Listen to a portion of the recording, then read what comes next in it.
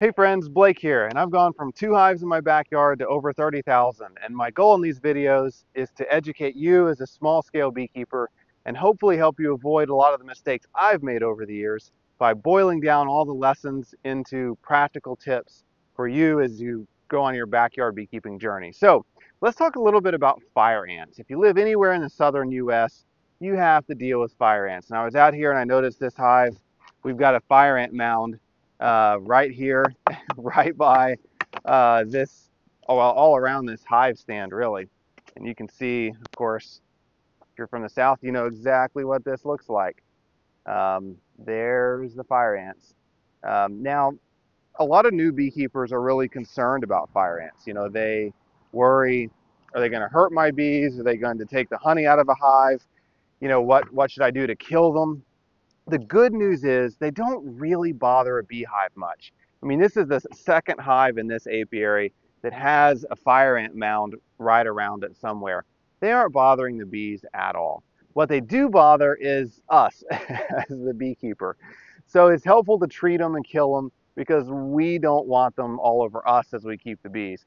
But I've seen, you know, commercially, I've seen fire ant mounds, you know, built up as high as the lid on a beehive and they're not bothering the bees at all. You know, a good hive can easily defend their defend their hive. You know, you'll actually see a fire ant crawl onto the entrance of a hive, and the bees will run up and fan their wings and blow the ant off. So if a hive is dead or basically dead, occasionally, yeah, I'll see the fire ants eat a little bit of the honey. But in general, they seem to be more attracted to, uh, you know, the, the shelter that a hive provides, getting up underneath it to shelter them from the rain. So um, not really a major pest when it comes to honeybees. Now, for commercial beekeepers, if you know us commercial beekeepers, we're sending our bees out to California to pollinate almonds, and they inspect the hives at the border, um, and they don't want more fire ants in the state, and so we actually have to be really careful as commercial beekeepers to not let fire ants um, get on our loads of bees when they're going to California, but that's not a concern to you as a small scale beekeeper. Um, if you do want to treat and kill them, I would use uh, boiling water, pour a, about a gallon or two of boiling water onto the fire ant mound, should kill it off pretty quickly, and you, you're not worried about any chemicals or pesticides getting around your hive.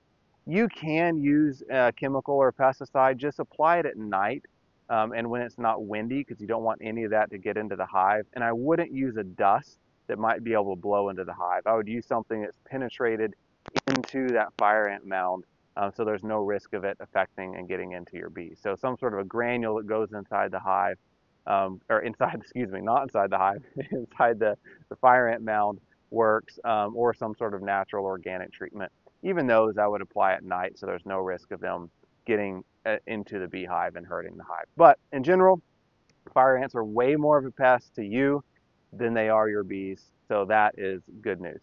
If this is helpful, like and subscribe, and we'll see you next time.